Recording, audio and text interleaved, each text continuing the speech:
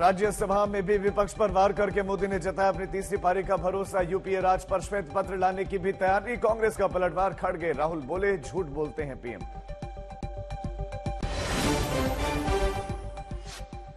NDA के खेमे में एक और पार्टी की एंट्री की तैयारी। आंध्र प्रदेश के चंद्रबाबू नायडू की नड्डा और शाह से मुलाकात। मोदी से मुलाकात के बाद नीतीश भी बोले, अब कहीं नहीं जाएँगे।